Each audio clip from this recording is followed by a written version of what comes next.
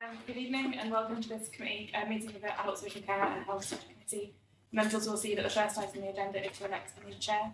So could I please ask for a nomination? Uh, I'd like to propose Lucy Um, is that seconded? Seconded. Um, uh, is that agreed? Agreed. Okay, wonderful. Um, so Lucy Knight is our new chair. Thank you for electing as chair. Um, this now means we can elect the new vice chair, which is Simon. Um, we have someone to nominate? Which is me. and then um, uh, someone to second. Thanks, Sam. Great. Um, all in favour of appointing Councillor Saren as vice chair, please raise your hands. Agreed. Um,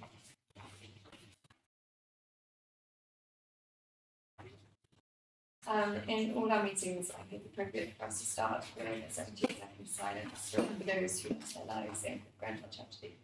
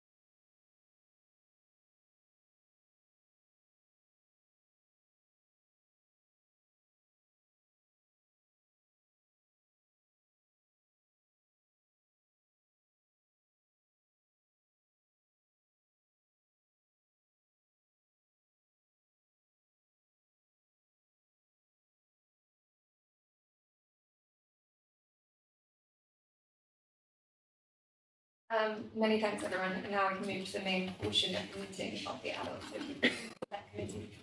The event is being streamed live on YouTube, and members of the public and the media are welcome to watch the meeting remotely and listen to the discussions taking place. I'd also like to welcome all those here and everyone watching on YouTube. Um, we start with apologies of absence. Um, we've received apologies from Councillor Ahmed and Councillor Goodman. Um, Judith Daly from Health Watch has also sent apologies for the meeting. Um, declarations of interest. Confirm I have no declarations of interest to me regarding any items on the agenda. Do any members have any interest to declare? Employees CNWL, NHS, Um, the minutes of the meeting, meeting on the twenty seventh of June twenty twenty two have been circulated. Does the committee agree, agree to sign off as record? Agreed. Um, and welcome on first report, twenty-five. Developing new community developing new community diagnostic centres. This report has been brought to us from a colleague in the North West England Integrated Care System. Here today to discuss the report of Essex Dr. Philip Lamb, consultant radiologist, imaging clinic, clinical director, London North West University Healthcare, NHS Trust, and Damien Brady, CDC Extended Program Manager, West London System. Um, Damien and Claire, would you like to present the session? Thank you very much for providing us. Yeah, um, I'll, I'll just get started. Thank you for the introduction, um, and thanks for the invite today. Um, so community Di- diagnostic centres are essentially a national initiative, as you can see, um, essentially to try to increase diagnostic capacity uh, within um, England has generally very low diagnostic capacity. You can see that we're either the lowest or one of the lowest within the OECD countries. Um, and because of the loss, the relative lack of diagnostic capacity, that really came to a head during COVID because there was further reduction because of you know things like having to put in control measures, sickness, uh, and a, a reduction in referrals because patients were staying home and they weren't coming in, and that's created a, a sort of a hidden population which we're trying to get at and and a, a large backlog that we really want to tackle. And so the aim is, um, you know, and set on a, year-on-year increase in demand that we've sort of known and is, is from the Mike Richards report of sort of six to seven percent.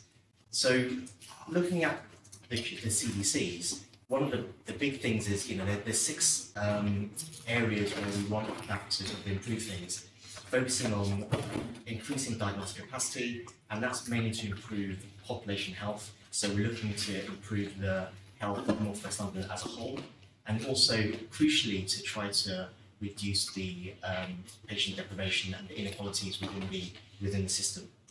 And so we looked at the whole area. We did a lot of um, work on looking at areas of deprivation, and you can see on the map there that there are sort of two main areas. One around sort of Hanwell, Southall, and another is a crescent on the right side. And it's sort of and, and the way we've looked at it is to create one centre at Ealing, which would serve that area of deprivation, and then around the crescent there will be two sort of spokes, which are Willesden, Willesden and Wembley. Um, but overall, the idea is to try to really reduce that sort of um, reduce that uh, deprivation because it is quite significant as as detailed. And I'll hand over to David. Lovely, thanks Phil. So um, as Phil said, we've, we've really tried to focus in on those two areas in particular whilst thinking about how we can improve overall access for the entire population of North West London. Um, and that's really come down to what you see in the report around the, the areas and the locations where we're looking to site uh, the CDCs. We've been through quite an extensive process about sort of wider stakeholders around looking at um, available NHS estates um, and looking at the accessibility of those in terms of both public transport um, as well as private car use, and then overlaying that with um, uh, data that we have around as, as filters around our deprivation index across North West London. So um, it's been quite an extensive process. We are now in a, uh, fairly fortunate position where we have um, we, we've been through all of our sort of gateway approvals, uh, both from the sort of trust level across North West London, then across London, then up to the national programme team. So that means we've, we've managed to attract all the capital, importantly, um, and all of the revenue to actually staff and run these services. It's a really positive um, situation for our population in North West London, um, and yeah, um, open up to, to questions. Thank you. Is there any questions else? We start. Actually, next you maybe. No, no, go. No, no, go on. I think you does the committee Um, first. Stuart, do you want to start? Yeah, welcome. Thanks for joining us tonight. Um, I just wanted to touch on your um, page 14 of the report have you have in front of you uh, mentioning about um, how the certain economic factors are used when deciding where to place uh, these, these centres. Um, I was just wondering, are there any other factors that you take into account of the centres? Yeah, so you- you're referring to the index of deprivation Yes. um, as part of that. So, so yes, um, these are quite extensive facilities to get up and running. So um, as you can see, you've got it here on page 14 and 15, the range of services that will be provided within these facilities, they are very extensive. Um, some of them are particularly architecturally quite significant, so MRI and CT services in particular um, have quite a lot of requirements. So one of the key areas that we were given a steer on from the system, but also nationally in terms of the programme, was we had to look to utilise NHS estate. Um, so that was a very clear ask of us to do so. Um, when you take into account the range of services, um, depending on how you split it, you needed a minimum, or very much a minimum of 1,000 square metres. Um, so that actually then took us from a very long list of NHS estates across the sector to a very small list um, in terms of available estate with 1,000 square metres then when you start overlaying in the uh, deprivation index and the uh, patient uh, accessibility, um, so the public transport accessibility levels in particular, um, that, that, that gave a picture. It's just, you start overlaying all of those different things together of a very small list of available NHS sites. Um, so yes, there were, there were several different um, uh, items that, that sort of led to that. Just, sorry, yeah. Um, do you want to finish your question then, Portia? Sorry, yeah, just, just one more, um, if I may. Have you, uh, when sort of designing and going out to consultation, have you taken any learnings from any other uh, areas that have already? Uh, yes, um, I mean it's uh, obviously as, as Phil said, it's a national program. Um, so we, we meet. So, so for myself personally, um, I meet my counterparts across London um, on a fortnightly basis and, and learn from um, uh, the respective CDCs that have gone live. I think it's fair to say this is still fairly new. Um, so This is uh, what is referred to as year two of the program. So it was only you know the first CDCs went live last year. Um, we did implement what was known as sort of early adopter uh, facilities. So uh, if that's at Ealing Hospital, which uh, uh, Phil works at part of that, um, we set up a temporary MRI hub and another one at West Middlesex Hospital as well. Um, high volume, low complexity uh, case mix, really good um, patient staff experience, um, very popular. Um, it's been it's been our own learning from what we've done, um, and and as I say, learning from colleagues across London. There's just been another one that's gone live um, uh, with a uh, uh, visit from Secretary of State in the last couple of weeks. Um, Thank you. Thank you for coming. Um, your um and it was very impressive. However, there was little information about how they about, reducing the hair qualities beyond the geographic location of. If you think about just putting the centres in the private areas, what else is being done to reduce health inequalities overall? Residents themselves indicated that care is more important than the waiting times and the geographic location. What are the anticipated waiting times? How will centres be staffed? And what will the level of enterprise skills be? So, uh, in terms of the inequality side, you- you're right, it isn't just about location, but, um, but location is a significant, um, part of it in terms of if you're not able to get to a, a place easily, then often it can, you know, things tend to slip, patients tend to, uh, not attend appointments, which makes it a lot more difficult for them when they're juggling jobs.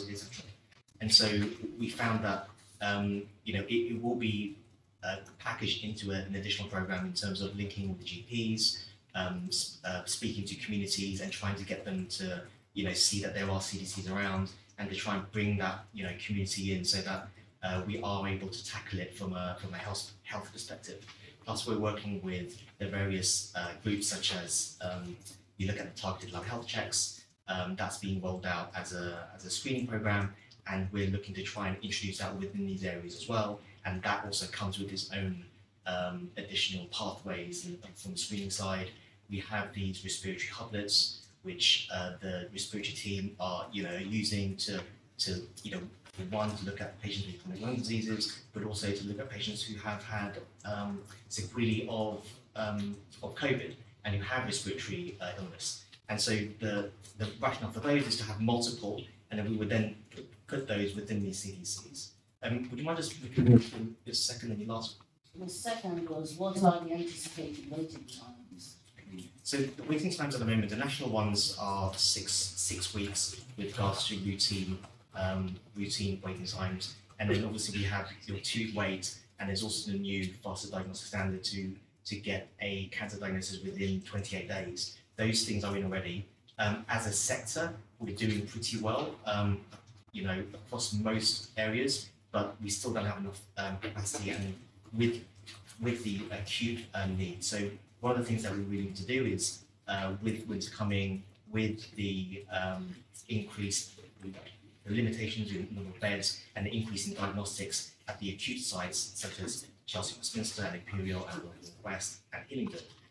Again, the you know, as Damien said, the high volume, low complexity imaging and uh, other diagnostics can be moved to these CDCs to free up space. So it's just trying to get a balance between um, looking at planned work, but also offloading work from the um, acute trusts so that they can then tackle and improve their, you know, care so that overall population outcomes improve. And how will the centre be staffed? So it's a, very good question. Uh, staffing is one of the biggest risks. Um, we, as James mentioned, uh, are fortunate in that we do have funding for revenue for, um, I think, you know, 18 months, and all and the system has agreed to continue that going forwards. Uh, we are, we have, um, uh, how can I put it, sort of working groups looking at that, looking at potentially, um, we have set up a number of academies, um, in London Northwest, and we have these sort of practitioners to try and increase the number of um, ultrasonographers, uh, in MRI radiographers, to really improve the staffing, the staffing model of that. We're also looking at um, people from, you know, trying to see if we can recruit from um, abroad. It's basically a lot of different uh, approaches to try and fill in the gap because the gap is going is going to be significant. There's no doubt about it, um, and it, and it and it is a risk. But I think we're in a good position to be able, you know, given that we're going to start this in the next year, we're looking to ramp up in this year so that we will be in a good place by that. You know, a lot of those positions will be filled. So what other skills and enter, enterprise set to be the skill set? in the- to Cover that service. Um, do you mean in terms of, so, you know, radiologists who are able to uh, report the scans, um, all of the radiographers who will be able to run the, run the CT and MRI scanners, sonographers for ultrasound, obviously cardiologists and um, cardiac uh, technicians for ECG, echo, etc., and phlebotomists. Um, and then there'll be another um, cohort of admin to help out. And is that what you mean, enterprise? Um, Thank you, Chair. Have saying thank you. Oh, okay. Um, thanks for coming tonight and thanks for the report. So I, I've actually got a few questions on, on um, what's written in the paper. And the first one is this whole idea of local, which I feel is what we're trying to get at here with community diagnostic um, centres. So I guess I was just wondering, what do our residents do at the moment, um, given that this is a new thing? Where do they go for their diagnostic tests? Um, and, and as you say, I mean, these are quite complicated, these are quite complicated tests. So how far are they travelling? Because kind of look at Ealing and Wembley, and I mean, I, I know it doesn't feel like that far, but I think if you're, you know, you've got some, you know, you're not very able to get the bus, or you know, you're on crutches, or you've got some other um, physical problems, then actually getting to Ealing and Wembley feels like a long way to, to, to go. So that's my first question: is what are our residents currently doing? Is this going to help them get to these um, test centres quicker and easier? Um, the second part is about um, timings, um, because I, I noticed that the first one is due to open in 20, April 2023, and I mean obviously you sort of said that these are units that currently exist, so I know you're not starting them from scratch, but obviously they need to be fitted out, I guess, with more of the equipment that's required to do these diagnostic tests, and we're talking about something that's six months away. So is it feasible that they're going to be ready uh, within that time? Um, and then the third point was really, I, I guess, a little bit to Councillor Thaxter's uh, point about waiting lists, because it feels to me um, that actually the, what I hear our residents talking about is getting to a GP and getting those referrals. That's where the bottleneck seems to be. And maybe it's because you know, the waiting list uh, for the diagnostic test is so great that they can't get through the kind of GP stage. So is this new system going to help with that, with those waiting times and with getting those referrals? Um, because cause I, I think I can kind of see what we're trying to do here, but I guess my concern is how is it actually going to help our residents with the problems that they that they really have and that they tell us that they have. Sorry, that's a bit of a long list, but I saw you writing it down, so I can repeat it. Can I, can I come in first? Let's yeah. because uh, they're all quite passionate about all of this. So, um, so where are they currently going? So, I think the, the, uh, this comes back to one of the points that was raised, raised previously. So, think about this as diagnostic capacity as part of the overall healthcare ecosystem. So, CDCs will not work in, in isolation. So, it'll be holistic as part of the overall existing diagnostic provision. So, to answer your question very directly, primarily the services we're talking about are accessed via hospital settings. So, um, particularly things like MRI and CT, they're not really um, they're not really based in, in other facilities outside the hospital. So, for example, within this borough, you would have patients going to potentially Chelsea and Westminster, um, uh, or, or you know, there are obviously others that aren't too far away, such as Hampton Hospital, for example. So, um, the majority of patients at the moment will be going to hospital-based settings to access this type of care. Um, obviously, things like phlebotomy they can get closer to home than their GP, um, but for the sort of um, more significant uh, ICUs, they'll go into a hospital setting. All of that will still be there and available for patients and for the residents now. So we're not removing that. This is not moving care out of hospitals into the community. This is additional capacity over and above what is already there in the existing healthcare ecosystem. So just try to picture it in that way. So it, really is more um, as opposed to replacement and movement of activity. Um, in terms of the timings um, and the risk behind that, so there is risk. I don't, I don't sit here and say there isn't risk. Absolutely.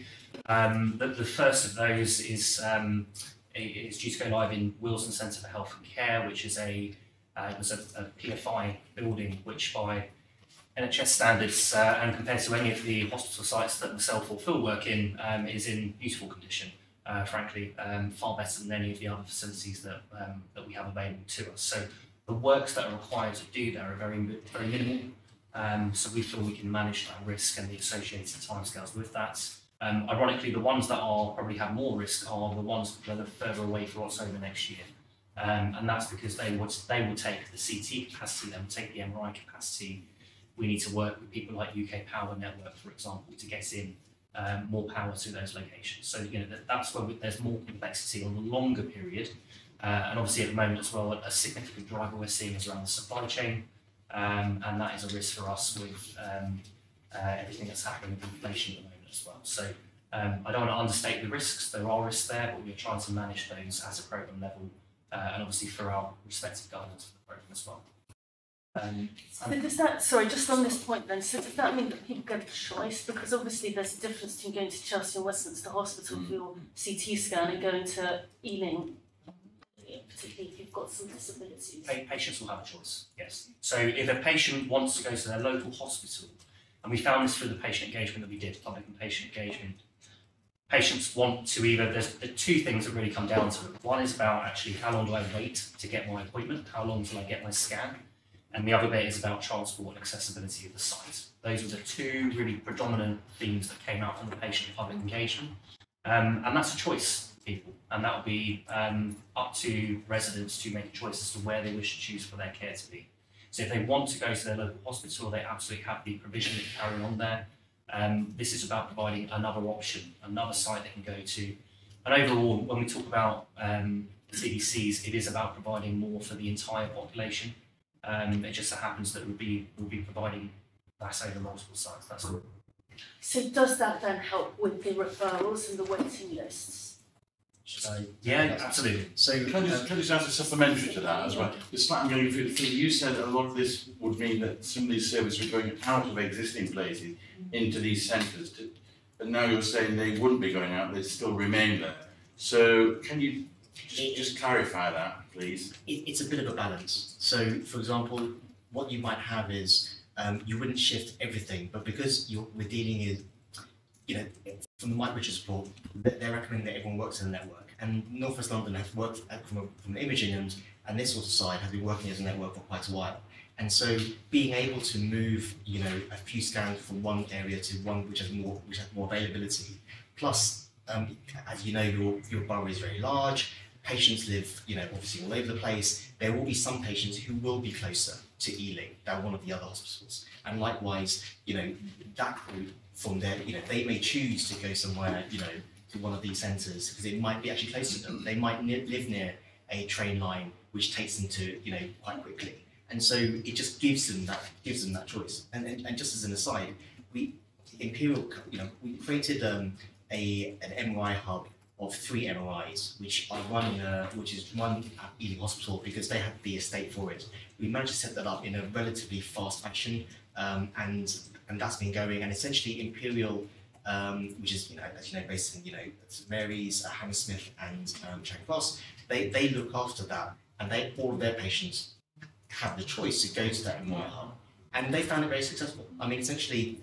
You know, from a capacity point of view, Imperial don't have all of that capacity, but this additional, these new MRIs, you can say to patients, you know, look, you might have to wait eight weeks, but this place, you can get it done within four weeks. And we found that a lot of patients choose to go there within four weeks. It is, it can be a little bit longer, but again, based on a lot of the um, transport stuff that uh, Damien and the team have done, you can see that within, for the majority of patients within North West London, uh, it's within around 45 minutes to be able to get to one of these one of these three centres, let alone you know existing hospitals, which again will provide that additional cover.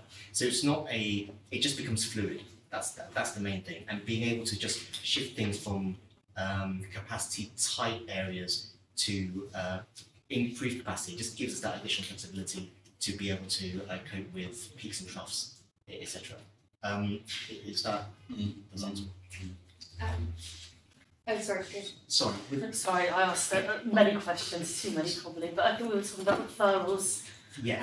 and uh, the impact on weight on wait lists. Yes, so um, with regard to referral, it's it won't have a direct impact because um, at the end of the day, uh, GP availability for patients is they sit obviously at the front line, and so um, we can't we can't provide any help from that point of view. But what we can do is uh, we- we're working with all of our uh, secondary care clinicians as well as uh, GP GP representatives to look at pathways where we're able to expedite um, you know, some patients who have very clear pathways, you know, for, for, for cancer, for example, um, for patients who have, you know, high risk for, you know, I mentioned for type of health checks, um, as well as things where they have vague symptoms with vague uh, cancer symptom pathway. And so there are lots of pathways where, from a GP point of view, they can access diagnostics very easily, and that's the whole point of the community diagnostic centres to increase capacity within the within the system so that they can access that very quickly. And so the aim is that if we can accelerate the downstream parts, then you know the overall journey will be a lot faster. But we won't be able to, like the front section, there might be a little impact, but it's not going to suddenly create a big gap, if that makes sense. So uh, is, is what you're saying that these new community diagnostic centres are going to decrease waiting times for the test once you've got through your GP? Yeah, exactly. That's exactly right. And then is that a guarantee that you are going to give, or is that the hope, or I mean, So how are we going to know if they're successful? I suppose Yeah, is what I'm asking. So this is a national programme, obviously, so um, being led through NHS England and Improvements um, on behalf of the Department of Health and Social Care. So there's quite a lot of monitoring um, and effectiveness going into the outputs um, programme, and obviously we're being monitored on a uh, sort of London and system level as well. So um, I think the scrutiny absolutely will be there in terms of, of that post um, uh, post sort of implementation go live and actually you know part of that for us is about looking at actually what is the impact? Are we delivering the activity? What is the impact around waiting times? So as part of the uh, strategy that we set out, we set out a number of um, uh, metrics that we intend to measure as part of that once it goes live. The, the, the key critical question there is, is around growth rates and demand. Um, going back to, to, you know, can we give guarantees? Um, what we have is a national projection by modality, um, so by individual test, on what we're anticipating that growth rate to be. And we've, we've based our capacity plan to try and address where we think that, that demand is, uh, where we think that growth is. Obviously, if that changes um, for, for reasons that we can't predict, then, then no, I can't sit here and say that you know, we wouldn't be able to do that. But based on what we think the intelligence is um, at, a, at a modality level, we've tried to then build in uh, the capacity that we think um, the CDCs can provide within the constraints of the programme. And let's be clear about you know, money is important here. Um, we would always like to build more if we could, but uh, we have to be, um, we've had to make you know, sensible decisions about actually where we can best utilise that. Great, thank you. Can I just jump in and ask one question Yeah. slightly related? When when a service user has gone to one of these centres, they've had their diagnostics. What happens at the end of that? Because obviously, if you're in a hospital setting, referral is made back to the specialist, presumably that you've seen. In this instance, do, do the diagnostics get referred back to a GP? Does it then place more pressure on the GP So after that? That's a great question. I mean, it's it's it, it varies. So, for example, if the diagnostics are negative, um, and essentially obviously the that obviously goes back to GP, they can reassure and they can sort of move on if needed or refer on if, if exactly. And likewise, if there are um, you know, if there is something that you find that requires on referral, let's say, for example, if you find a, find a cancer, then those are the pathways that we're working on to try to speed that up so that you really expedite the patient journey and cut out all the delays Yeah. so that they go to one of these CDCs. And one of the one of the benefits in our network is that they will be linked to existing hospitals. So we're lucky, we're fortunate in that um, as a network, we're already linked in with regards to our radiology system. So I can see what's happening, you know, from, from London Northwest, I can see what's happening at West, I can see what's happening at Imperial, and, and, and likewise. And we're moving to the stage where we're going to be able to share imaging across the whole network as well. So where, where someone has a scan at one place, if they, let's say they came from ChelWest, that imaging, all of those results will be available on tap for a secondary care at ChelWest, and then they can then, um, you know, take that further. But could I just be really clear that, that the, if, if a, an onward referral is necessary to a, to a specialist, that doesn't have to go back to the GP before being passed on, because I think that is a, you know, when GPs are stretched already to have another refer, another clock. It, it, I have to say it depends because the GPs obviously as as frontline and as the gatekeepers a lot a lot of that information they know their patients well. And it and with cancer certainly there's an argument that you could go directly back to secondary care but the difficulty is who's going to tell that patient you know? So um, there is a, again there's a there's a balance between expediting it as soon as possible and and also making sure that we get to the right decision for the patient. And often the information to make that decision lies with the GP. And so it's quite difficult to cut, cut them out completely from the pathway because they often will have all that knowledge there because they're the experts. Um, No, I accept that. I, I completely agree with that. I just, I, I, I guess my concern was that, particularly in the case of a, a cancer diagnosis, for example, where the time is of the essence, um, having that referral made directly from one of these centres would, would probably save lives. yeah, and I think that happens already in a lot of settings. Um, for example, there are two-way referrals where GPs refer in and then they just, you know, there's sort of carry on. Um, there, I'm not going to say that it's a completely smooth system and um, super easy, but it's it's one of those things where you know, with regards to CDCs, it allows us to look back at productivity, at efficiencies, at integration, at pathways, and this is the opportunity to basically reform those with our GP colleagues, and you know, in view that we have additional costs. I'm just gonna ask you a few questions, then I think we should probably. Um, my first one is just the fact that, um, these CDCs, sort of from the NHSE's guidance, were meant to be much more community-based and separated from medical centres and hospitals, whereas the three locations you picked here, one is in the Ealing Hospital, and the two are other uh, medical centres, so it's just understanding sort of why they've moved away from the idea that these might be based in shopping centres and football stadiums and places that are a bit more relatable and less scary to residents. Um, and then my second question was just on St Charles Hospital, and I know that this was a location that you were considering, and it's within one of the most deprived neighbourhoods in North West London, and why that wasn't chosen to be one of the locations, and if there's scope over the next three to six years, I know I think the budget's three years currently, whether we will be able to have a hub within um, North Kensington particularly, and if that's not the case, to ensure that our residents will not have any barriers to access for these hubs. The fact that they are not living within these boroughs, it doesn't stop them from being able to access the same amount of care that residents in um, these boroughs. Sorry, that's a message, but. Yeah, no, no, I'd I'd like to respond to all of those. So, um, oh, where's to start? So the journey of some, some of Mike Richards' report goes back two years ago now. It was published in October 2020. Um, it was originally actually used to be published before the pandemic, and then things changed obviously as a result of that. Um, I think the journey as a national programme has changed in terms of their guidance. Um, so what, what they're very clear on is that there, need, there needs to be a separation of emergency and elective care. Um, so this is about providing elective um, diagnostic capacity outside of that emergency setting. So um, the, the only um, site that we have on a hospital-based setting where we have that emergency care is Ealing. Um, the building that we're using for that uh, was the only building we could use frankly in that area to serve that community.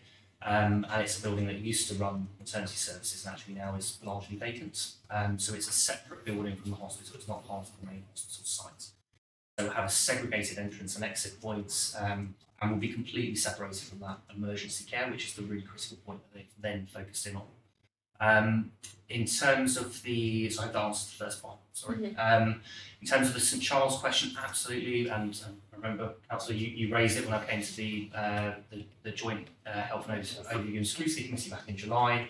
Um, it was one of our, I think, 67 sites that we had on our long list, um, and it did make down to our shortlist, but there were, there were problems with St Charles site in terms of the, um, the estate and its, its ability to actually adapt to uh, intensive requirements for CT and MRI in particular. Um, obviously, it's a uh, listed building um, and that has significant planning restraints and constraints uh, around that. Um, but, but more importantly, in terms of the accessibility uh, of that site, had the lowest public transport accessibility level of any of the sites that we looked at. Um, so it goes on a range from 0 to 6, and uh, St Charles had a rating of 2, um, which is lower than, than any of the sites that we, we, we had shortlisted. So in terms of serving the deprivation, the travel analysis that we did behind that, St Charles was not um, particularly accessible for. Uh, it, it was accessible by fewer residents and fewer deprived residents across North London. And Um, just the barriers to access for residents, that's. Yeah. So, so we're working um, as a, from a hospital point of view, uh, there's a lot more integrated working across, you know, um, Chelsea and Westminster, we serve in this area, St Mary's, London North West, and England. Um, and we're trying to work towards an, a, a single sort of patient timeline where patients basically get moved around. So the ones who are waiting the longest, they, you know, you shouldn't really have that. That should even out across North West London, as opposed to as opposed to having um, certain areas which have a very high waiting list because that's their local hospital. Um, we're trying to even out, and this is part of it by increasing increasing access for everyone, basically within the West London. So absolutely, there's there will be no barriers to, to access for, for any residents as well. So, Sarah, one very quick last question, then we. Well, it's three parts, and actually, well, James was at the meeting as well, in June and July. Um, transport workforce and data. I was a bit disappointed to see this come back. Um, talking about, uh, we have a large proportion of working age adults. We have the highest percentage of older people living all around. Um, and I don't think that's been taken into consideration again. Uh, the um, and you also mentioned we were the largest borough. I think we're the smallest borough. Um, transport. This is a real issue because the Mayor of London is proposing bus cuts, and a lot of those buses are the ones that go north, south, east, west, and they would take you to maybe to Willesden. So residents are not going to be able to get there, and there's a natural boundary there for us with the canal. People don't think about going north. So people in, in, in sort of um, what's the ward in Westminster? Church, Church Street. Church Street, they come to St Charles. People in Hammersmith and Fulham come to St Charles. People in Brent come to St Charles. For them, it's it, it's it's not a natural route for them to go north. I don't. It's just a look. I think we all have. So again, I would ask you to look at St Charles because I really think our residents will go to St Charles. They can get buses from the south of the borough.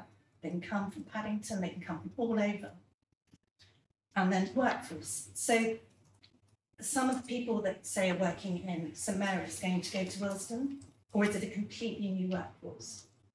Oh, okay. Yeah. The reason I ask is have they been consulted? Okay, nice one. Um, okay, so a few bits there. So um, apologies if, if, if we've not quite provided the information that you asked, Councillor, and if there is anything that we can follow up on, um, happy to do so outside of the committee.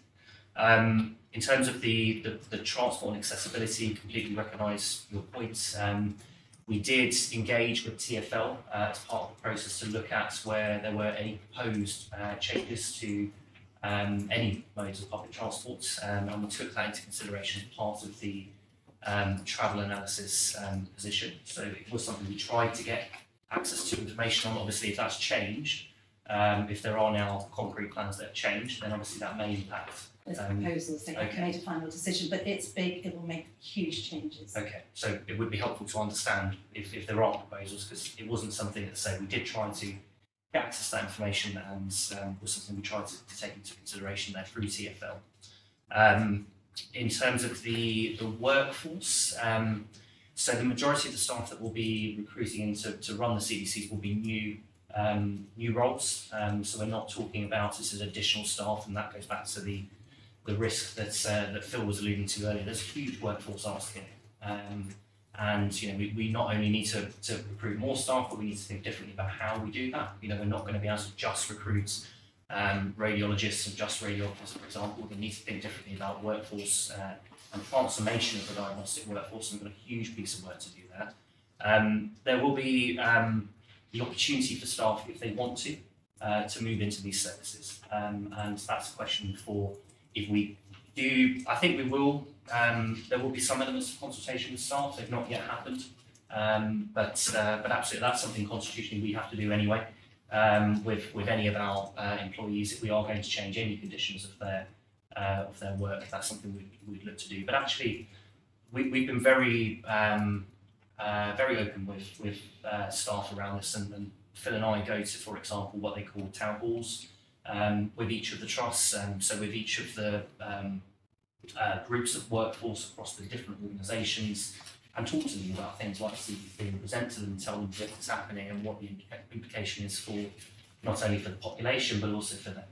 Um, and now we're getting to the point where actually we've got some uh, firmer views around timescales and money committed. That's supposed to become realer for um, for the organisations and staff and patients. That's something we absolutely um, will do as part of that process and is part of the conversations we're having uh, about how best to go about that. But we very much have the ability here to to do this in a way that is beneficial for our staff.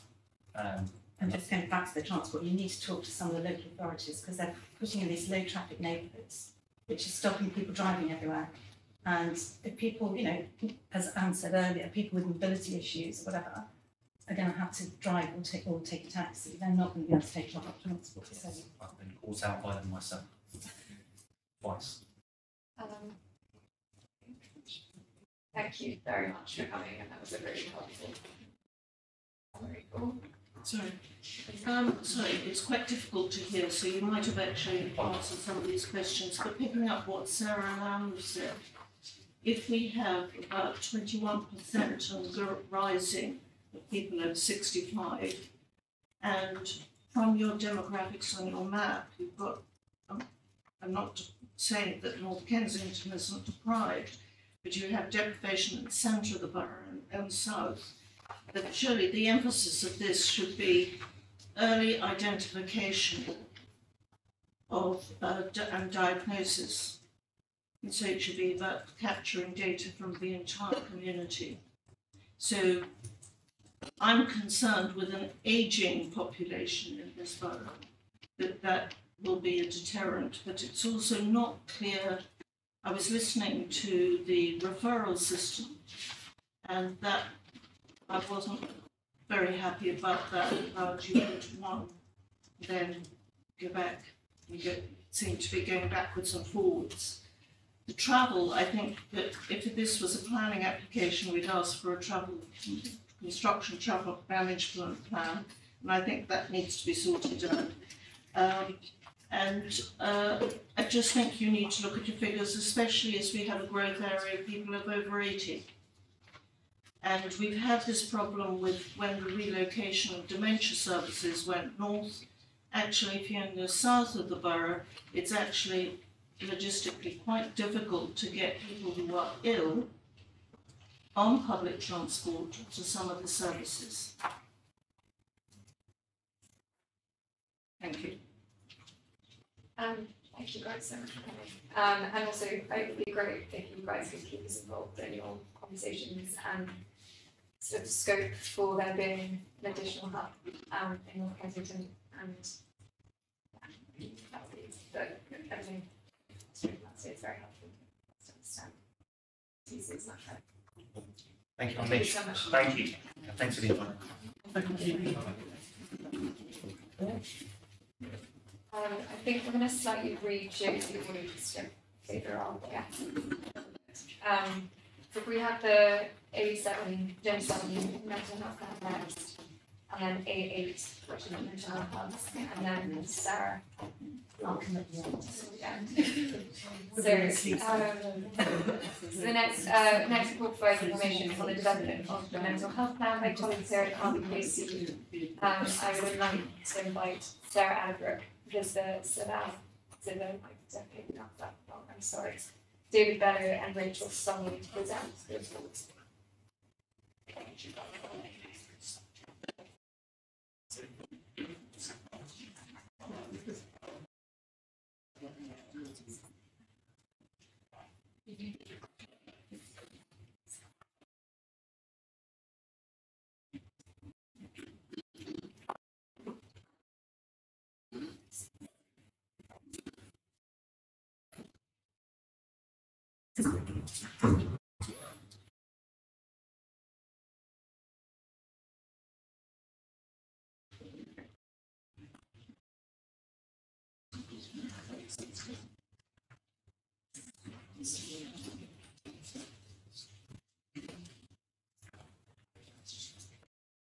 Thank mm -hmm. you.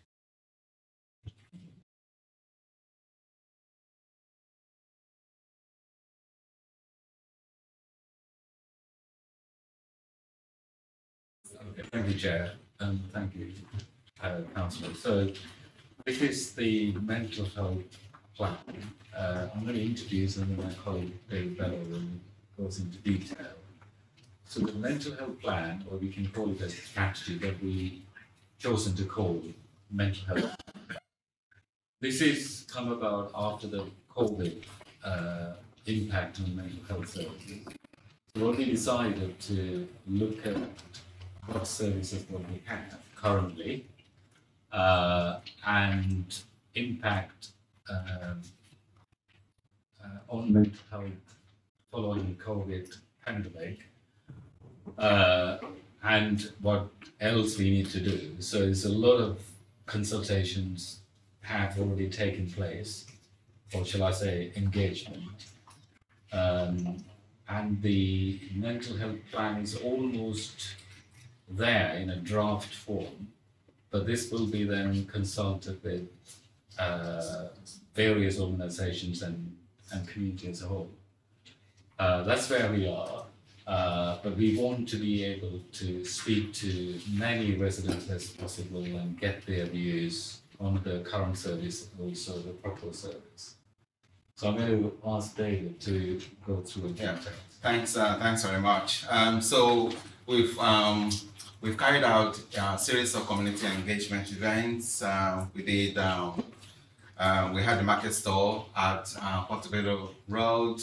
Uh, that was quite successful. We had a number of different um, you know residents approach us to give us you know their kind of experiences of mental health. Um, you know issues and um, what are the positives and maybe areas where service needs to be enhanced. So that was quite a useful, um, you know, event. We've also had a series of uh, meetings with stakeholder, um, you know, partners where we discuss again what um, they're doing within their organizations to improve mental health delivery. So we had the police there, we had the ambulance service, you know, we had, uh, um, you know, colleagues from from CNWL you know, we're, we're there uh, as well, and colleagues from uh, ICB also, um, you know, were there from the previously CCGs. So they were also there as well. So that was also a very useful um, event to try and understand um, some of the challenges around, you know, mental health service delivery um, in, in the borough and how things could be, uh, you know, improved. This is our first mental health plan, so we've never had um, in a previous plan, uh, you know, before. So uh, it's actually quite interesting to get a lot of people engaged to ensure that the, the plan, um, you know, covers all of the various kind of, you know, challenges and uh, and issues and where services uh, could be enhanced. So as uh, mentioned, um, we've uh, we've we've got the first draft of the plan. And what was quite interesting about you know the the main methodology is around ensuring that um, we captured um, the narratives that has been expressed, especially by local people that have talked to us, um, you know, around you know mental health services. So um, what we've done is to uh, break that down into uh, you know six pillars, uh, you know, of key uh, areas where we feel that you know services uh, needs to be developed further, uh, you know, and, and enhanced and you have all of those, you know, six pillars, you know, there, including what we expect to be uh, the, the kind of the outcomes. Um, you know, when the, the strategy or uh, the mental health plan is issued, uh, there will be more detailed uh, narratives around, you know, the six pillars with some, you know, tangible um, recommendations in terms of the actions that we need to take forward so um, we're not writing uh, this mental health plan just uh, to tick a box. We're actually writing it because you know we're really determined, uh, working as uh, with partner with our partners, we're really determined to improve the mental health outcomes, uh, you know, for our, for our local people. Um, and do you have, when is the sort of next stage of the report you're going to be producing where you have a bit more action points as to where, how things can be done? Yeah, sure. So we're expecting that um, the the first report, will, the first draft, will be published by the beginning of next year, and um, and then that is the stage where we then start the community consultation. Yeah. Uh, you know, with uh, you know our local people and also with organizations and all the all the stakeholders.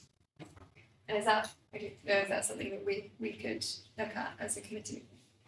Um, yeah, that's something that Steph can be brought back to committee at a later stage.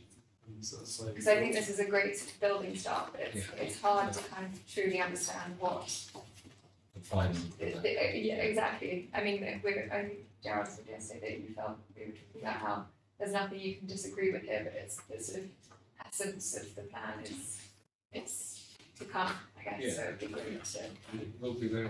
Yeah. And then uh, one quick question that goes Jared.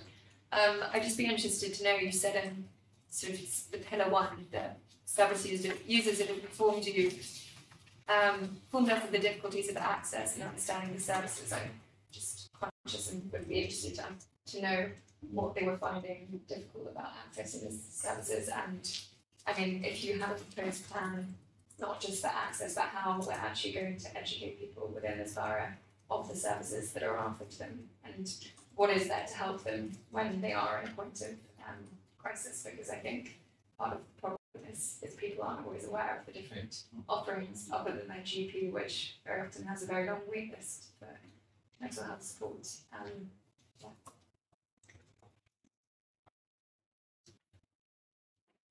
Thank you. Um, two or three questions really. Um, again, very good. The pillars are pillars are great. Pillar three, living independently with healthy life. And I think what we've experienced in the past is, and those of us who are sort of ward counsellors, a lot of our casework stems around. When it works well, it works well. When it doesn't, it's a nightmare. There's no mention in there of integrating housing in there and where the role of housing comes in. That's a key a key problem. And then when something goes not to plan, trying to get the case reviewed, trying to get a multi-agency meeting can take months. And then in the case of housing, for example, if you have to get a, a court order revision, that can take another six months a year. And these, the community is suffering, but also more, more to the point, the individual is suffering because they're not getting the care. So I just would like to look at the extremes, if you like, as well, and how those fit in, because as ward councillors, we get a lot of problems with that. Secondly, am I allowed a second You question? you Um, pillar five, service users with high needs. Just wondering what additional services we're going to see, what extra stuff we're going to see there that we don't already have. And then my third and final question is the use of the voluntary sector in this. There are a lot of voluntary organisations out there, Samaritans Mind, all those organisations that offer huge support to people when they can't get onto the main system or they've got to wait six weeks or a month or six months, whatever. So I'd like to see some, some discussion of the role of the voluntary sector in this as well as the statutory sector. Thanks very much. Thank you. Thank you. uh, Portia, I know that you've got some Would you like to take them all or? May get you to send them in. Um, I would just like to know, in terms of accessing services, what work will be done to identify and target those groups who find it difficult to access service? So how are you gonna help those, the, the ones that are very hard to reach, you know? Not the ones that, um, go out to clinics and stuff like that. And won't go, maybe won't go to their won't go to Exactly. clinical setting. And, and that could also, um, because of mental health, you know, and lack of behavior, um, responsibility, anxiety, and all these other issues, how are you gonna engage with those, um, residents? And in terms of accessing services, what's work? Okay, I've asked you that one. Um, aim to eliminate gaps and boundaries to care for patients with complex needs. Firstly, what is meant by complex needs? Assuming it means personality disorder, disorder, repeated presentation and substance misuse, what services are being created to meet of those patient complex needs? And the final one is I'm improving um, pathway and waiting times. How will this be evaluated? So I can take the last uh, question. I, mean, I guess, you know, obviously we provided a small uh, synopsis of what the mental strategy is um, trying to say. And, um, but what we are, the intention is that when we de- developed the um, implementation plan or the improvement, um, that we we place it within our place-based um, partnership. Um, you know, um, so we do have um, a mental health program board as part of our place-based, um, you know, place-based partnership, uh, you know, group, and you know, so to help in monitoring the progress of some of the, um, you know, the actions that as a partner organizations we are going to adopt as a way of enhancing, uh, you know, mental health, you know, services. So that is, you know, one way of kind of you know, monitoring, and obviously uh, attending, you know, committee meetings as well, speaking to various members would be another way of uh, making sure that you know we, you know, there is accountability to uh, the promises that we made uh, as part of a partner uh, organization. Thank you. And how will recruitment and retention be addressed? So there is um, a lot of work that we need to do around, you know, workforce development, um, you know, making sure that you know we're able to retain um, good quality, you know, you know, staff.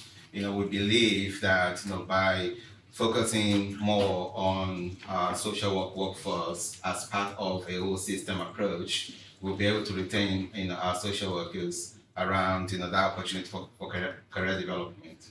But it has to be um, a partnership work. Um, if we streamline um, the, the process, if we ensure that um, you know we reduce complexities, um, fragmentations uh, within the system, then our staff will feel, will feel much more uh, comfortable with the work that they do, uh, you know, in the in the local place. I mean, most of the things that you know um, our staff tell us is around you know you know when things are not well done up. Um, you know, there's a lot of kind of you know repetition and duplication. Um, you know, within the work that we do. So that is one of the areas where we're really focusing on the workforce development. So in, in terms of the wider uh, mental health plan, there is a section there with regards to how we're going to retain staff, what support they are going to be, be given, um, you know, going forward. One No, no, after you. Uh, Actually, I just wanted to make a couple of comments, if I may. Uh, there were already questions. Um, and I, I think I've said uh, these comments before, but I just wanted to say them for, for the record on what, what I think I'd like to see in the next phase of this plan. And it's really about, well, I guess what we've got under um, section four, the current challenges and issues. So we see, you know, great increase in, in the demand for these services, and yet budgets we know are really, really under pressure and we're going to lose. So even though we've got a twelve percent increase here, and I would guarantee it's going to be more than that, there's pressure on that money. So that's, I guess, what this plan is really at its heart going to have to try and address. And, to me, it's about being very clear about which bits we have control over and which bits our partners have control over and which bits we can we can make more efficient and better and scrutinise and have an input on. Um, it's also, I think, I was just thinking about the case studies and examples when Councillor Hargreaves was talking about ward councillors and some of the case casework we get. And, you know, I've seen many unfortunate, terrible stories of our residents with mental health issues, and they just seem to get stuck in this system. They, you know, and you see the names, they come up again and again, right? We stabilise them and then back they come. And this is really what's putting the real strain. So what I'd like to see in the plan is how do we actually get them out? You know, how do we not just stabilise them but help them get better um, and, and improve their uh, quality of their lives and, and, and their, their mental well-being and really if that plan can go some way to talking about how we can do that, I think that would be a big success. But anyway, that's just a couple of comments from me. And I was going to say, points are very valid, and we have had conversations before about that as well. Uh, like you said about the budget and the increasing demand for services going up. Um, what we are, we have no plans to take any money out from the mental budgets because we understand there is an increasing need. We've seen that since the COVID. Uh, uh, therefore, most of these, the, the strategy, the plan, and also what David is also working on, uh, a transformation plan for mental health services. So that means now we have a, a, a good partnership arrangement with CNW colleagues.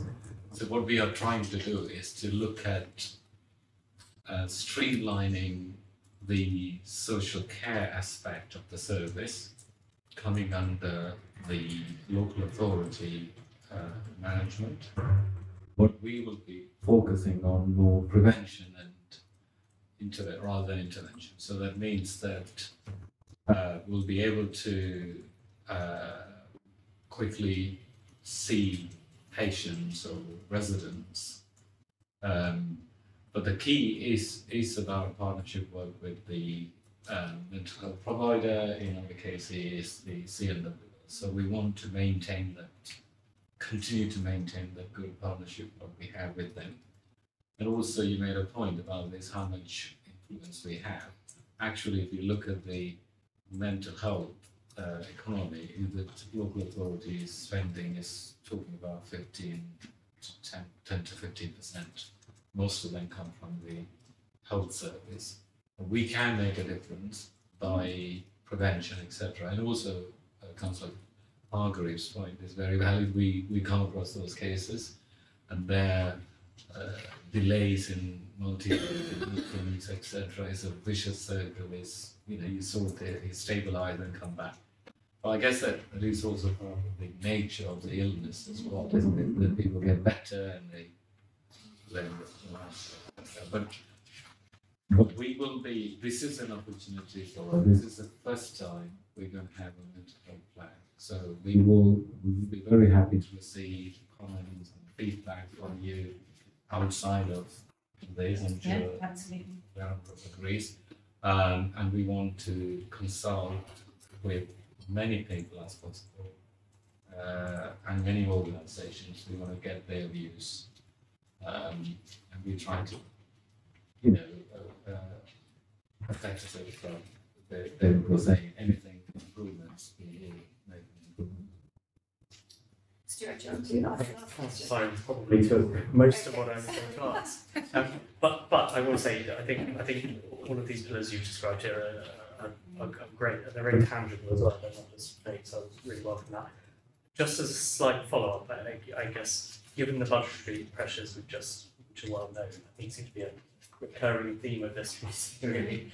Um, how how confident are we at being able to deliver this? Are there any particular points you think that could be pinch points where you, you think you might have more challenge in terms of resource or budgets?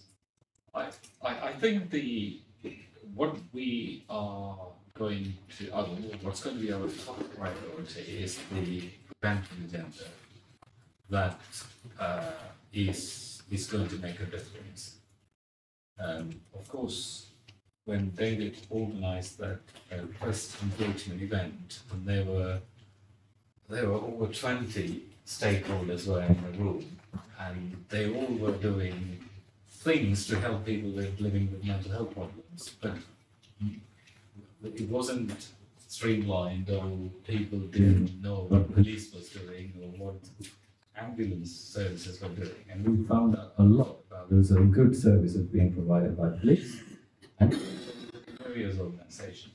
It is the challenge is challenge is about coordinating, working with all organizations and providing the sort of a seamless tailor-made service. That is going to be a challenge. But, you know, that, that is the partnership work, isn't it? Yeah. Absolutely, absolutely. I mean, I think you know what is quite useful at the moment is that we have the buy-in from all of our stakeholders, so they're really keen to see how we can improve uh, the services, and nobody is actually kind of you know resisting uh, you know change. So I, I'm quite optimistic that uh, you know we'll get uh, a lot of movements. Uh, Um, well, I think that was really helpful to hear guys and um, look over this. And I think if you guys would agree, it would be great to bring this know, developed plan back to committee. Yeah, And if I could just say that, you know, obviously the timing of this is really important with the cost of living crisis. So if you have any thoughts or comments, further thoughts, Yeah. please send them in. I think we've given quite a lot of recommendations today, so if of they haven't been all jotted down by you, know, because I'm sure we've got them minutes. Thank you guys so much. Um, so the next item on the agenda um, is my colleagues from the NHS regarding the community mental health hubs in Borough. I'd like to call Saru Muhammad, Borough Director of Mental Health, to present. She is joined by Mike Booker, Deputy Borough Director. Jasna Munjiza, is that you? She's unable to make it. She's not, I'm thinking. And Laura Mulholland. Thanks, guys.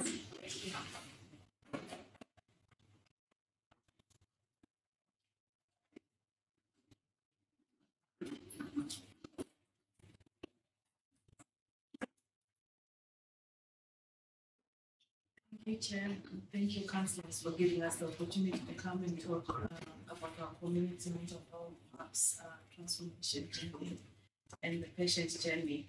So we transformed our mental health hubs uh, in November 2021, and um, this was alongside the NHS long-term plan uh, in terms of integrating our secondary mental health services, uh, working with closely with our GPs, uh, community living well, third sector partners, um, having employment in our teams, and really looking at the population-based uh, care uh, for our residents and our patients. And um, I will do the introduction, then my colleagues will chip in as we go. So in terms of where we are with the community transformation, I think we have presented some data. We've seen an increase in referrals. Uh, some of that, you know, you can see uh, even post uh, pre-pandemic, our referrals were at a static kind of, you know, we do have the ups and downs. And, you know, during COVID, you can see the same level, there's not been significant changes, but as we transform, there's been a significant increase in our demand. And we have, you know, uh, in terms of our relationships with our GPs, I think that is really, really good. Uh, we've got um, as workers who work alongside our GPs in terms of our residents having a one-stop shop. Uh, so that actually we are not seeing, I think it's been mentioned before around people having a lot of assessments, but also people being moved from pillar to post to access services. We still have our single point of access, which we work, you know, very closely with, you know, they take on all the urgent referrals and all the routine referrals are com- coming into our community hubs. We are working very closely with our community living well, and I think that with the with the goal to actually work on that early intervention, early help, you know, information giving so that actually you prevent people coming into the secondary services that actually we do a lot of work with our community. We know that there is a lot of work that we still need to do. We have been engaging with our service users and our, carers in terms of the transformation journey, but I don't think we are there yet. I think there's more to do in terms of our comms in terms of actually reaching out into the community and actually asking the residents what they want to see in our community hubs. And we are starting to do that work. So I'll hand over to Tara. She will talk a little bit about that. Yeah, and I suppose some of the things that come up from the conversations that, that have been around the table this evening was thinking about those people getting discharged to nothing, or, or no, actually one of the main principles from this model is no cliff edge. Is actually what we want to do is make sure we link people in with our third sector partners, use employment support to give them roles, routine, meaningful occupation as part of their lives, so that actually they have a support network in the community. And as Saru alluded to, we really want to sort of start some more community connection work, working with communities and populations to be that support network for people out there.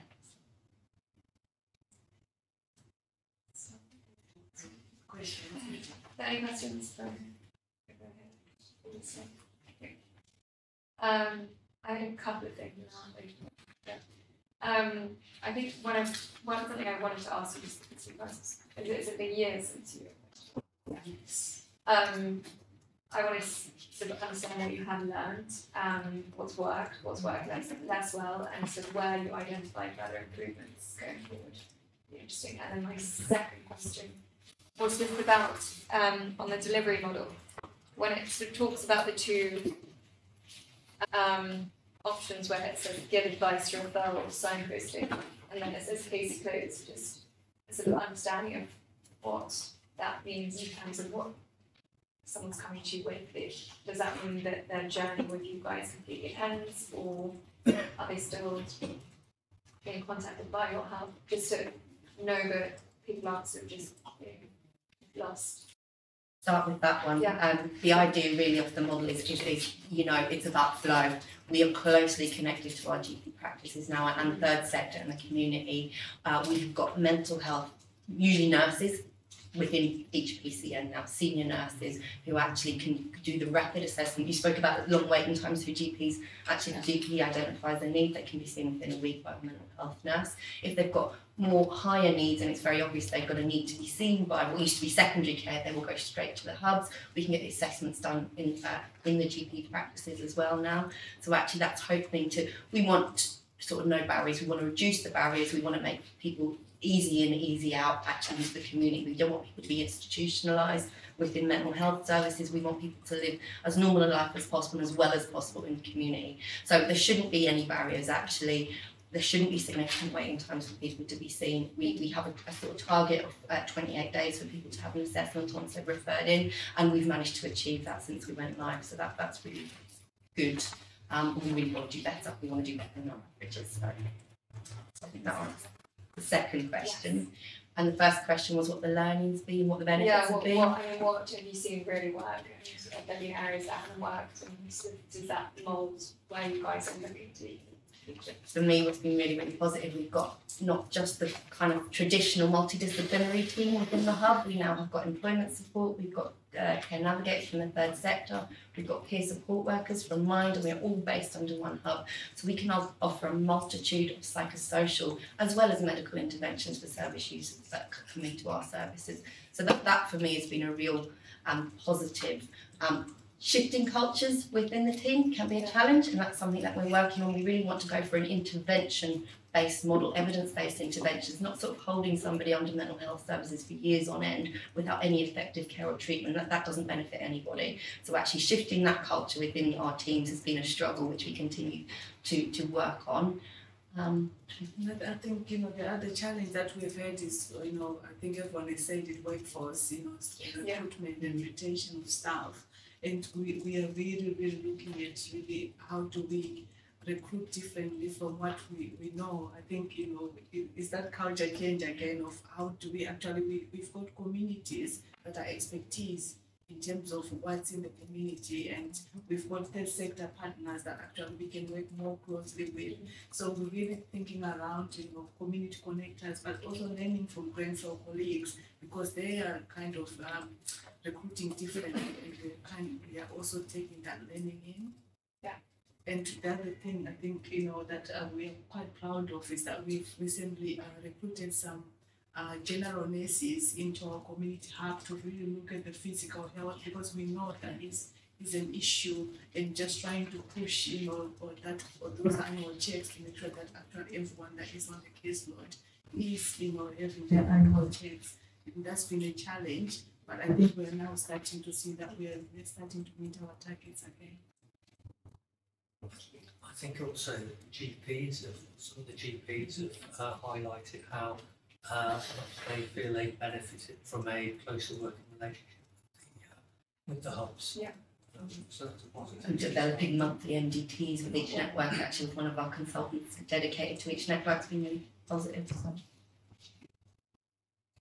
Thank you, thank you very much. The community hub pathway, I think I've worked my way through it. Um, What's the time frame we're putting on that? And just the second bit, that often people with mental health issues can come in and out of mental health, and they can, they can be years apart, you know. Um, how easy is it for somebody to slot back into the system if they've been out of it for a year, two years, or five or ten years? very much needs based. That as soon as a need's identified, we, we will get them, be straight back into us. So we've got the, the specialist nurses within the PCNs now. Um, so they're there, their point of contact is point of reference with GPs. We are rolling out, we've got our second, uh, we've got one network has got regular monthly MDTs established and we're trying to roll that out across our other PCNs as well. And that's an opportunity to discuss these kinds of concern. But as I say, we've got the nurses on the ground as well. But we, we take the referrals will come in. They're, they're often looked at within two days. They're all seen, they're screened for priority, and actually everybody's offered an assessment within 28 days. Prior to that, prior to um, arriving there, there's the um, uh, single point of access, and they will pick up um, uh, the needs of somebody if it's urgent, uh, so they can be seen that day. So there's uh, a rapid uh, interventions are available if within the trust, and then. Uh, they'll either come straight into the hubs or the referral won't be deemed uh, to need um, a rapid intervention. Come into the so they can be seen earlier. Uh, but if they come into the hubs, the, process is uh. And, and the sort of length of time going through this, is it Needs led again based on patient needs, patients' interventions that are identified, what, what, and we, we, we're moving to using a tool called Dialogue at the moment, which is a, a sort of a care planning tool, an assessment tool that is um, a sort of like the user completes the tool and it identifies what their priorities are for their recovery and we very much base all our interventions and our offers around that. So it's very much service user led. So we're not doing things to people that we think are right, medically focused, which is what we used to do. Uh, we're working in partnership to identify what their goals are, uh, what they hope to get out of seeing us, um, and to work alongside them to their recovery. And there's a big star chart in the pack, uh, spider diagram that sort of gives you an idea of the range of interventions that were on offer. I think that's page, that's page, page 42. So that's got an idea of the, the, the roles we had in posting circles when we transformed a year ago. And in the stars are sort of the new and emerging roles that we're, we're, we're, we're coming on board as well. Let's make one clear again on the, the voluntary sector. Sorry? The voluntary sector. Yeah, peer support workers pro- provided by voluntary sector. We've also got our care navigators are provided by the voluntary sector, and it does have uh, voluntary um, VCSE, refers to voluntary sector organisations as well. We're hoping to develop those relationships as well. We do a lot of work with Smart, work closely with Smart and Mind in particular.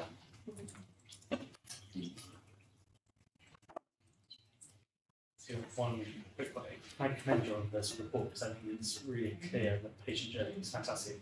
But if users are getting this on the ground, I think I think we're on to a really big thing. So thank you. Just very quickly, what uh, it's very difficult, I think, uh, with mental health because it's very complicated and complex.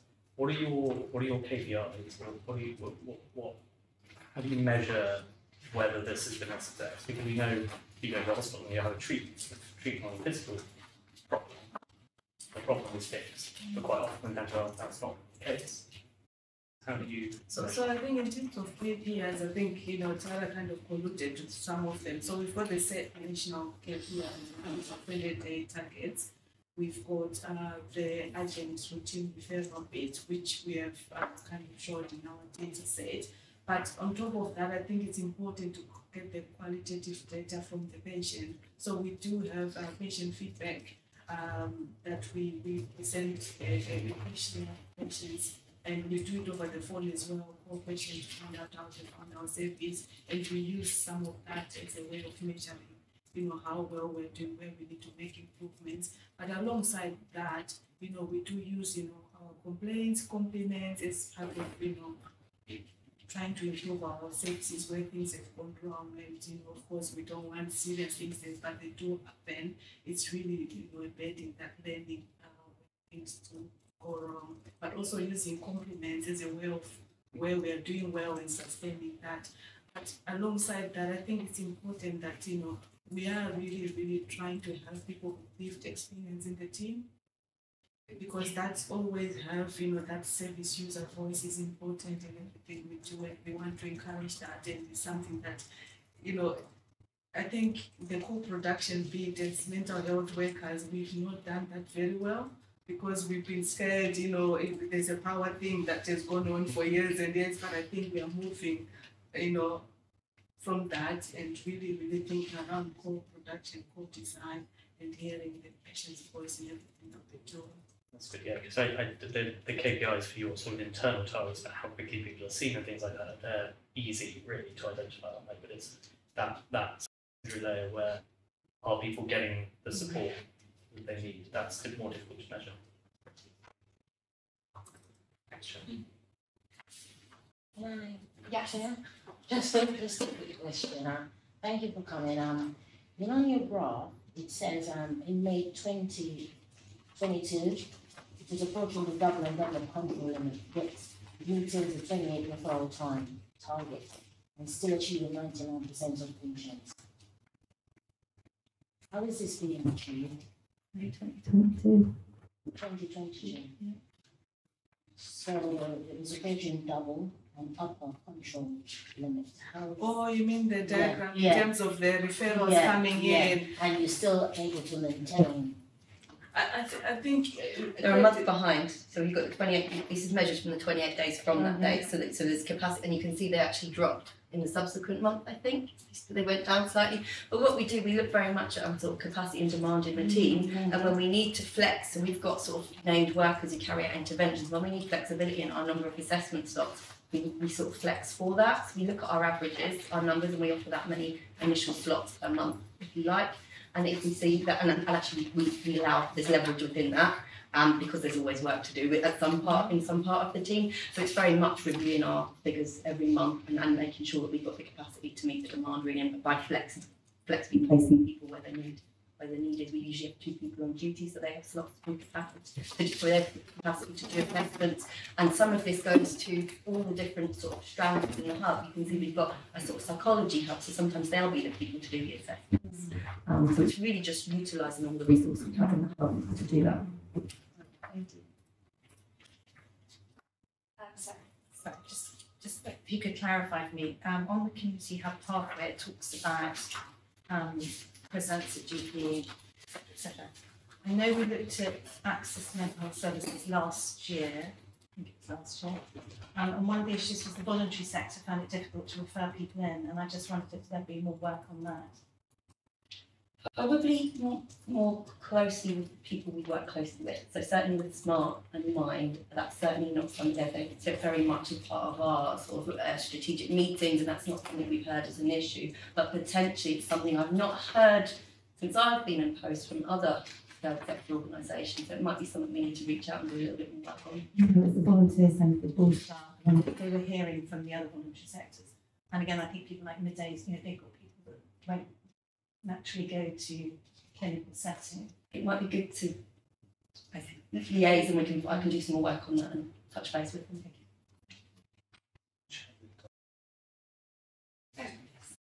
um, I've got a couple of questions. Um, looking at this, um, a couple of questions come to mind. I mean, sometimes mental health is associated with addictions. I can't see how this comes into this spiral. Um, so, if you have a hub, uh, are you going, are you, are you doing outreach or do people have to make that positive stage of engagement? Because some people, if they do have a problem, don't wish to engage, they need to be nurtured to engage. Um, and so do you work with organisations like Look Ahead, Turning Point and others? Um, do you actually go into those properties to be able to support people? Um, have you do outreach in housing associations where perhaps you might have nominations of uh, vulnerable people? And from a totally personal experience, I think single point of access is an absolute nightmare.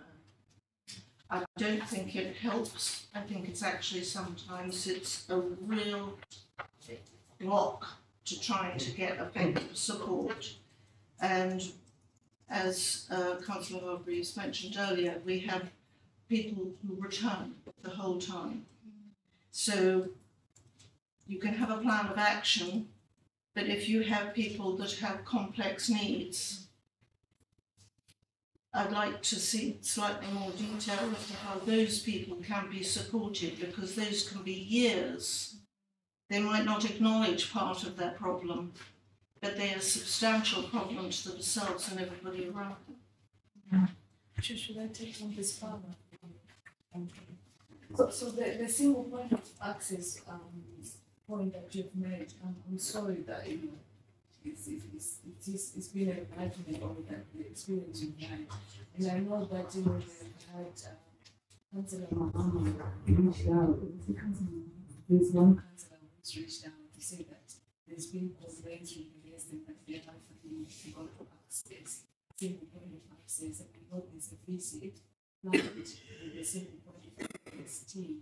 So that, you know, but I think what's happening with single point of access now, now that we've moved the between referrals and the hubs are working closely with GPs, they are doing their own transformation in terms of single point of access. So they are looking at um, embedding the NHI core into the single point of access. They do it already, but they're looking at how that can closely link in single point of access. But also they're looking at their the team that are working with single point of access. In terms of uh, the skills that they've put in there, you know, really having trauma informed approach into the care that is being delivered, but also having health sector partners in single point of access.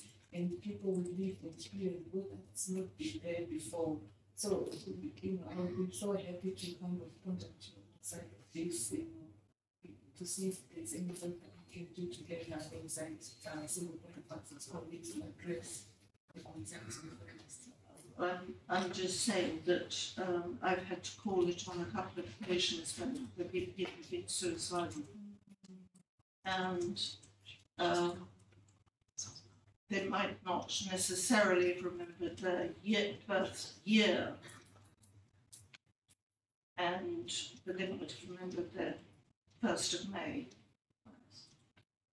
To be rung back two days later to say we can't take that case, we didn't pursue it because we didn't have the right birth birth year. It was inappropriate. So the next time the person presented, I just called 999.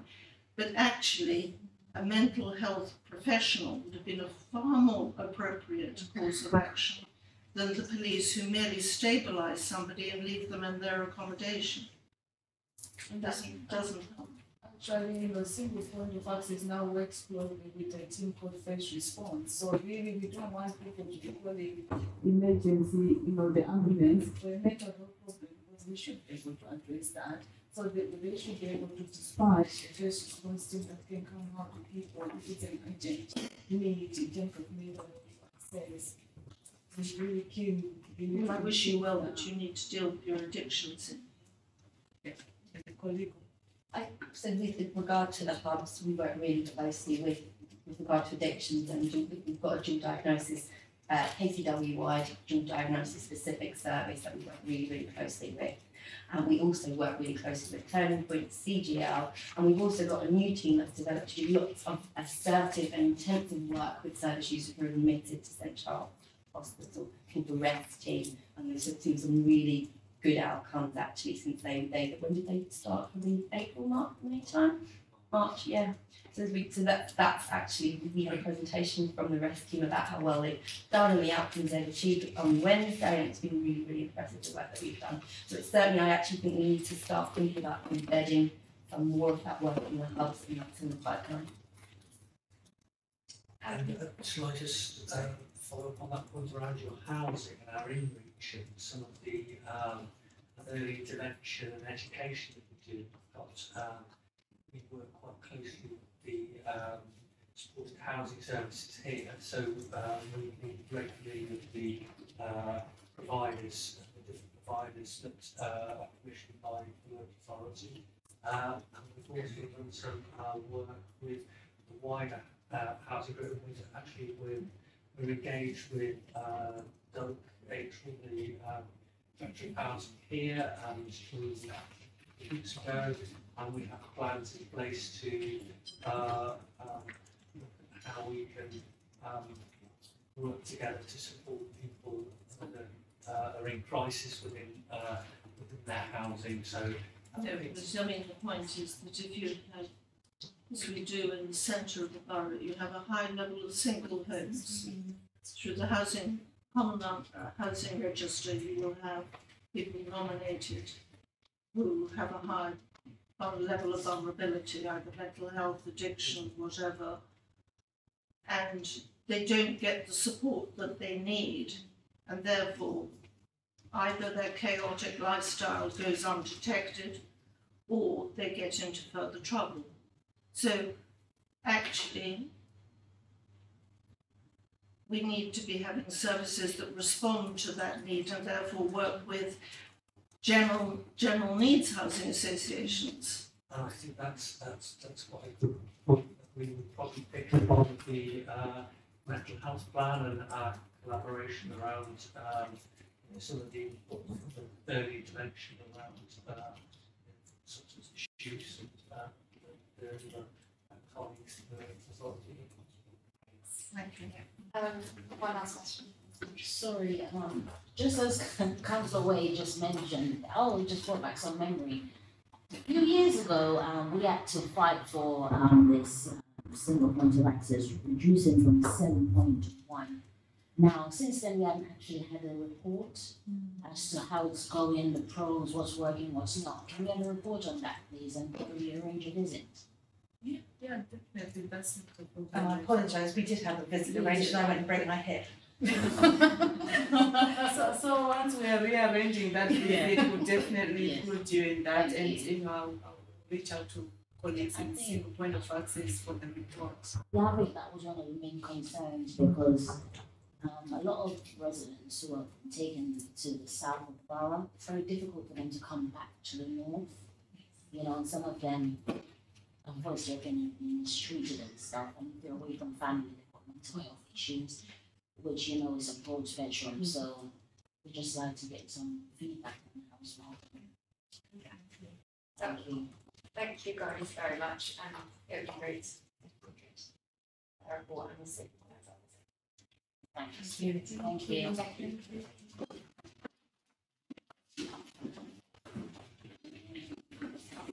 Next up is, uh, so we've requested a report from the lead member to present to the authorities here to the section the committee. Now it's my calendar, Sarah Addenbrooke, lead member of L Social Care Health to speak to the results. Well, I wasn't actually going to say very much because I there was, so- I apologise for the length of the report, but I thought as some of the committee were new, that it was probably a good idea to put a bit more in. Um, because we were referring to things like section seventy-five.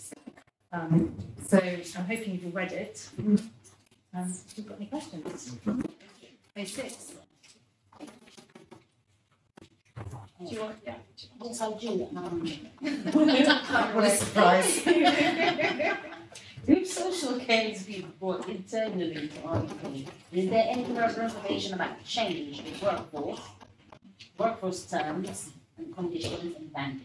So this is going to happen next March. So next March. Uh, next March. At a time where there's emphasis on mental health and social care being integrated, this will risk fragmenting in services patients receive. So this is what we've How been talking will- about earlier. How will we min- um, how will risk be minimized? You know? Yeah.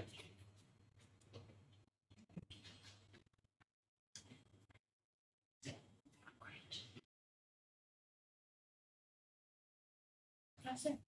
Um, I, my, my point was on number six, which was hospital crashes and that we had no budget confirmed, I should concerned. We're in the same position about- Rachel's got an I don't know if there's any anything just going into winter and having COVID rising, and how we can actually, you know, we can mitigate the pressures and we don't make any budget, I don't know if there's been any updates since this report's been.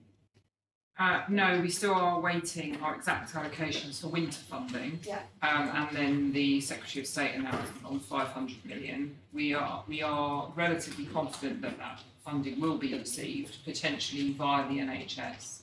We need to, we are developing a plan as we speak on the things that that will and could fund. Uh, and should we not receive it, what the risks are, uh, for the winter and beyond, uh, if that funding is not secured.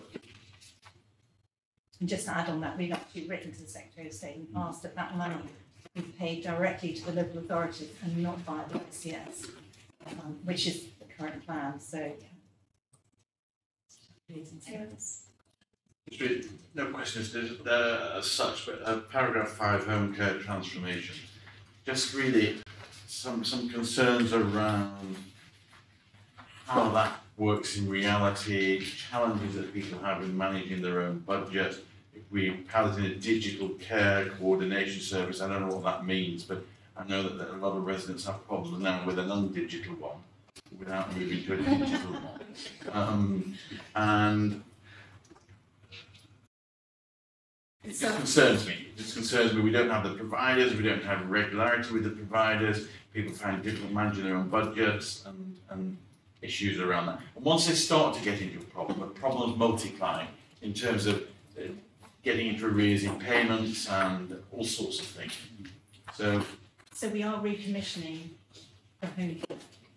Um, that's going on, ongoing at the moment. I think when's it due to complete, is it next year now? I can't remember. Next year, yes. Um, but, you know, with COVID, some people did adapt to digital. So there is a big change in what we're going to be doing and what the offer will be. Um, But we can always get something from commissioning. It Actually came to scrutiny in March. Uh, so that's what. Oh, no, was it the one before? Yeah, it- I think there was a paper in December twenty twenty-one on the care commissioning process.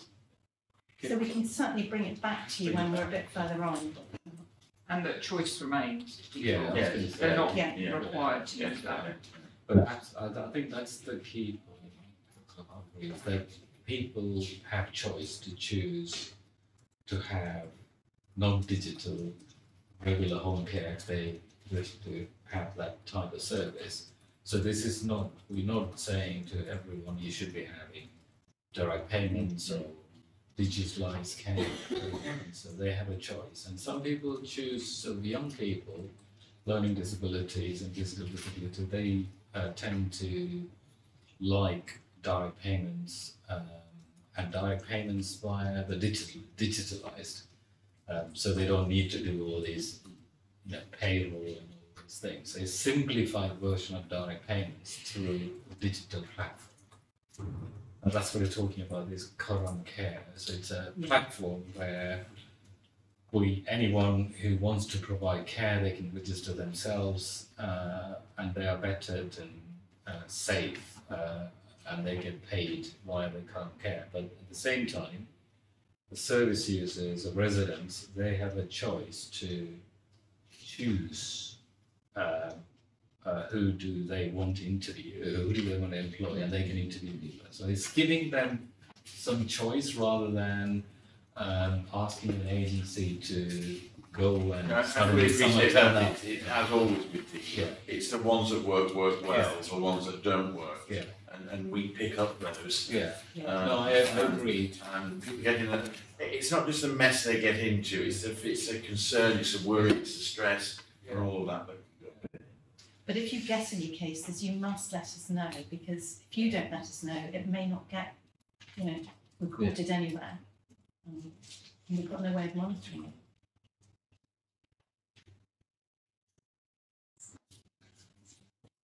So I just have um, one comment to make on this, which is Maxilla, my personal bugbear. So, yeah, I, I feel like um, adult social care, this department has been actually really good at providing all of the information that's required um, for Maxilla. But how are we going to hold the lead member for property to come and tell us when this thing's going to be built? I mean, there's, there's no timings on this. So there's a lot of work going on at the moment, as you well know, Anne, because you did a huge amount on this. Thank you very much. Your role in But it needs to move. It No, I know. So I think we are hoping to be able to bring something to leadership in December. Yeah. That's what we're hoping. Um, because we need to get it done. Uh, and the work kind of is expected to start sometime twenty-four. But yes. Okay, well, we'll have an update, I'm sure, at the next um, scrutiny meeting. Yeah. It's like Lots Road as well. I mean, those two really, really. I know, need sure, be that's done. right, but yeah. Yeah, both of them.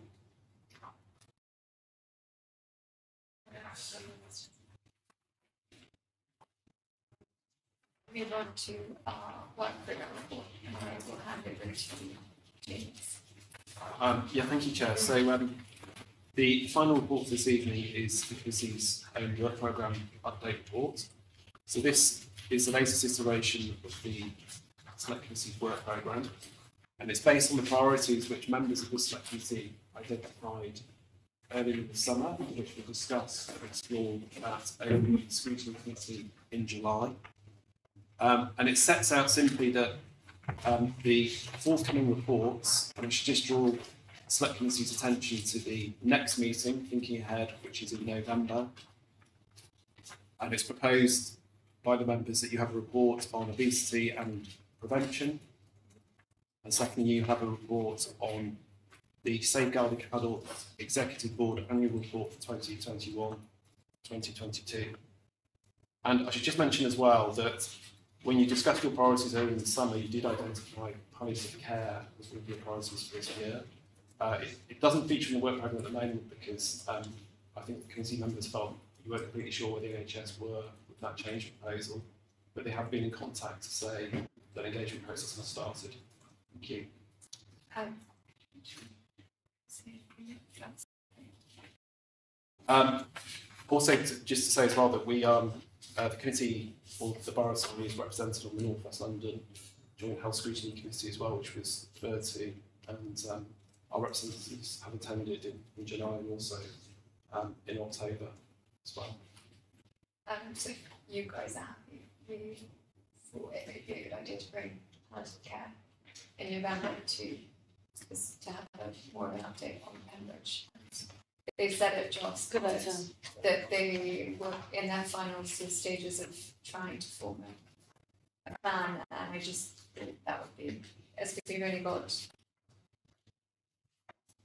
um, two things, two reports on the agenda, I don't think it'd be too much if you guys. I agree. Great. Yeah. That's. Does just dental provision come under us? Because I'm increasingly getting people asking about NHS dentistry and dental provision within the NHS. borough. I mean, we can encourage people. We did that big pearly whites thing years ago with the. Just thinking of the provision of it as much as, as, um, the capacity within dentists and the provision of it and like. Yeah, we Oh, did they? So apparently Westminster invited them to their scrutiny. That might be worth looking at that. You can ask them to attend and bring a report about access, for example. Them being in it. They don't, yeah, the primary care, right, primary care leads. So it does come under your uh, remit as a committee, Councillor Hargreaves. So um, if the committee so wishes, uh, Hannah and myself could find relevant data and information from the NHS, circulate it on the members, and you could decide whether or not that's another item that you might want to look at in the future as well, around dentistry. That's good idea. Yeah. It is a big issue. Oh. Jeff, Just- You've got public health policy. Ju- Just to note that public health has uh, engagement in oral health programs, partic- particularly with our care homes uh, and our schools. Uh, Both of which areas, I think there's some uh, significant work to do. There are, there are there are problems.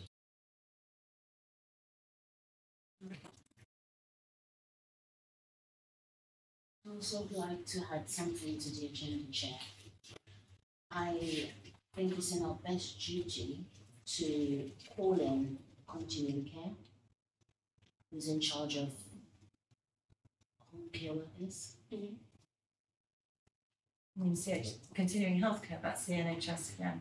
Uh, continuing care, so they're being commissioned to get home care workers to go in, look after people. Are they one of our? It must be in the chest. You mean continuing care? Yes, yes. So, so basically, they're the one that's in commission commissioned to go out. Is it an agency? It's not an agency, they recruit the agency to go out. Right, so it's a continuing care team. Mm, Continuing care team would, um, would commission nursing and fund nursing placements Yeah. for people. Um, and sometimes care. at Home home. care as well, yeah. So, yeah, that, Yeah, that comes under the continuing healthcare team, the NHS, yeah. But we can organise. We can facilitate. Yeah. Uh, yes, please, thank you. chair agrees. Uh, maybe in early next year.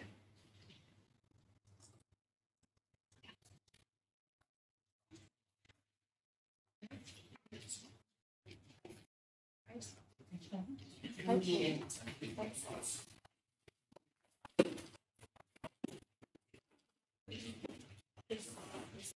Um, I propose. Thank you.